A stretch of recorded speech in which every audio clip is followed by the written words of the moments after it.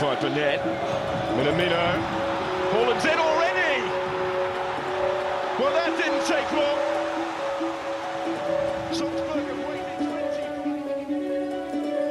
To uh, release Holland.